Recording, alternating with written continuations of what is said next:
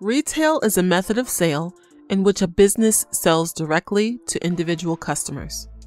Retailers can manufacture their own goods or purchase goods pre made from a manufacturer or wholesale distributor.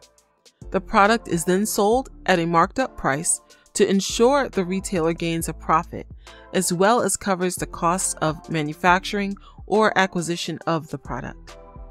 Retail pricing is usually determined based on the calculated base price per unit multiplied by a determined markup to cover additional expenses such as shipping and to ensure a reasonable profit to the retailer.